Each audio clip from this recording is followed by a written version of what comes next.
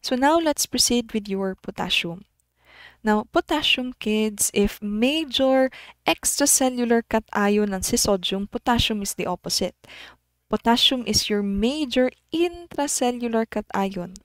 And being an intracellular na cation, meaning to say it is being housed within your cells. So, siya yung nasa loob ng cells natin.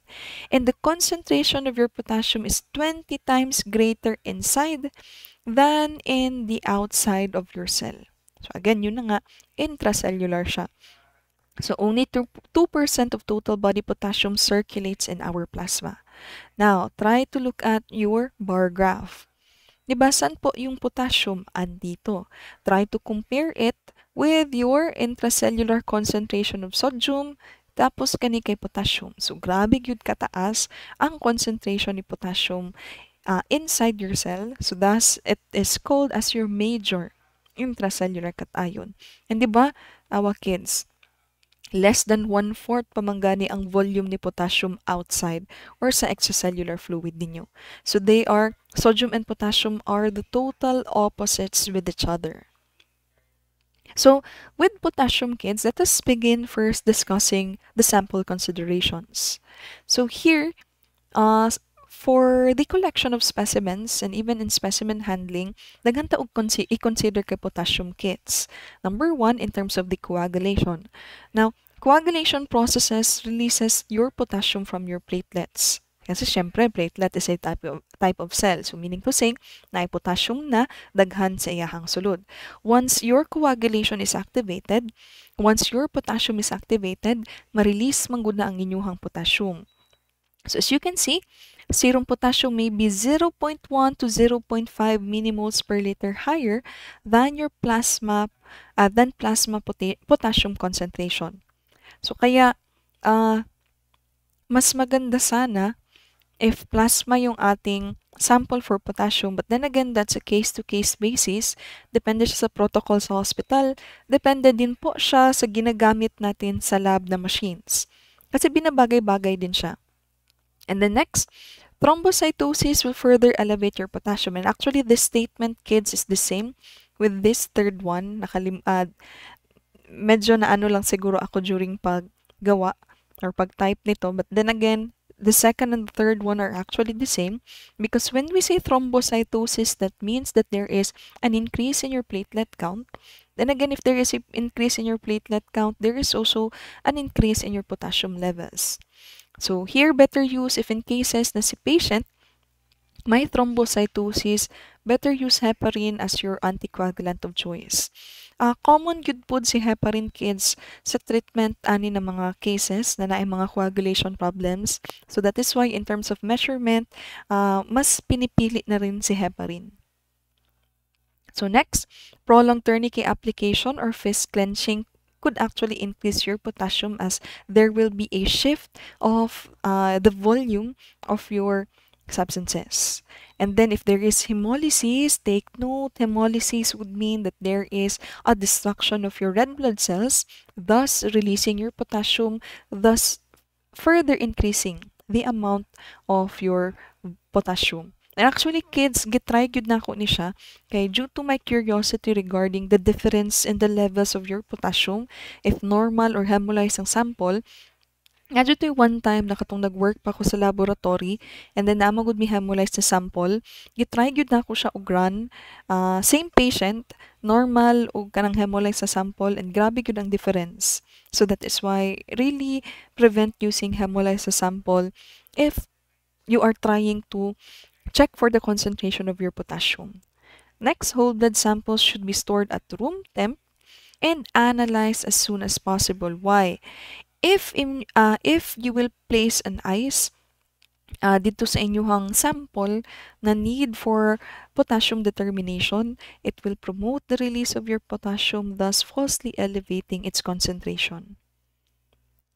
So, still in your laboratory output, kids, that uh, I will give next meeting, uh, may portion pa rin po kayo dun sa sample consideration. So, kindly read that one. And actually, most of this uh, na-mention na kanina, but just to emphasize further, So number one, hemolysis of 0.5% of RBC can already increase the level of your potassium by 0.5 or around 30% increase. Potassium concentrations in plasma and whole blood are 0.1 to 0.7 millimoles per liter lower than those in serum.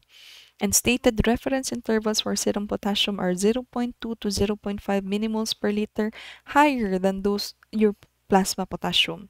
So plasma levels are lower compared to serum levels because of the release of platelets into serum on clot formation. So na-explain na na ako ni siya kaganina. So yun na nga, case-to-case -case basis as to the protocol of hospitals, basta dili lang yun mo mag-worry kids kay naagyo designated na reference range kung serum or kung plasma ang ginagamit. Next, 10 to 20% increase as a result of muscle activity. If there is a mild to moderate exercise, ing ani ang level na itaas sa inyong potassium. If there is vigorous exercise or usually kaning inyuhang fist uh, clenching, there is around 2 to 3 na millimoles per liter na increase. So basically the reason behind this, this kids is that your potassium is actually involved in the uh, sending of ele electrical signals in your muscles. So it lets them uh, contract your muscles properly. So if low ka og muscle, uh, low ka og potassium levels, then uh, you would expect that there is weakness and cramping or kanang mga muscle cramps na mahitabo sa imuhang body.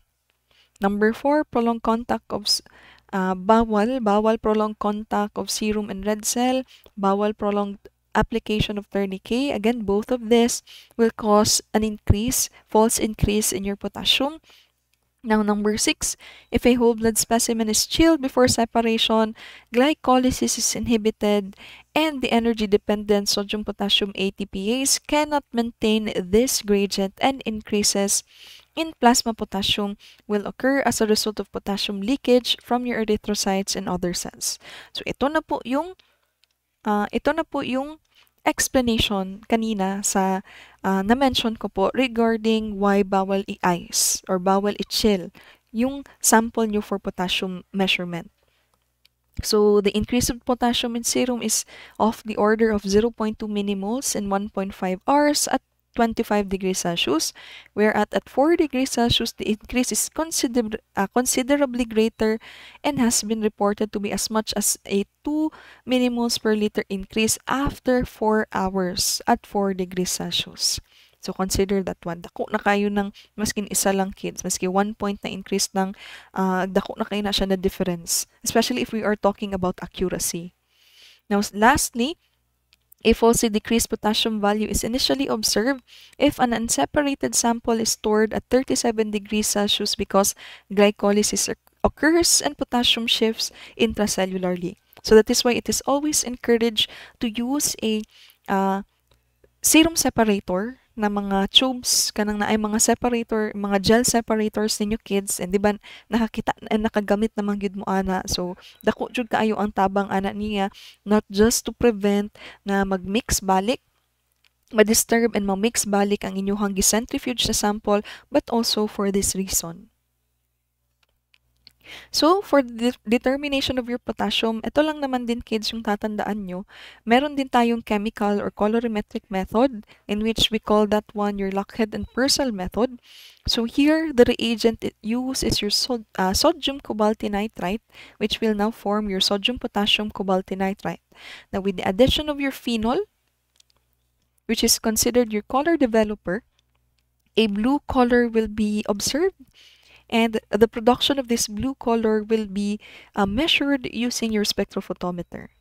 We also have ISE testing here, your ion selective electrode. So kung glass ang sa inyuhang sodium, for your potassium, what we use is your valinomycin na membrane. And we also have your potassium chloride as your inner electrolyte na solution. So for the reference range, for serum that is 3.5 to 5.1, for plasma, depende kung babae or lalaki. So males, 3.5 to 4.5, females 3.4 to 4.4. So actually gamay og difference no.